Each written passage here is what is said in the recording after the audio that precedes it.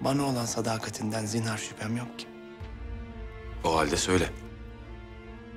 Kırım tahtından daha büyük, daha mühim ne olabilir aklında?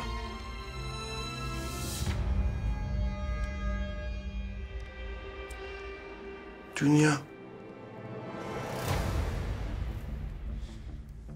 Kırım'dan büyüktür kardeşim.